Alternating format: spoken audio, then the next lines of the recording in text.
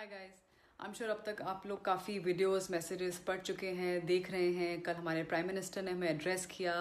Guys it is really need of the hour हमें ये बात एक्सेप्ट करनी पड़ेगी। We are going through a really dangerous and a very deadly phase right now हम इसे lightly बिल्कुल नहीं ले सकते। प्लीज़ अपने आसपास के लोगों को अवेयर कीजिए। उन्हें बताइए to stay home to stay safe बार बार हाथ धोएँ, कुछ होम डिलीवरी का भी सामान आता है, तब भी हाथ धोएँ। अगर बाहर जाना पड़ रहा है if it is so important if it is so urgent अपना नाक और अपना मुँह ढक के बाहर जाएँ।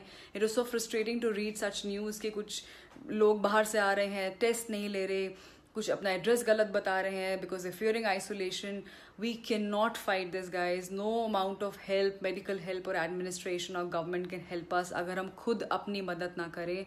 Please this is the least we can do as a citizen. Let's be responsible and spread this message as as much as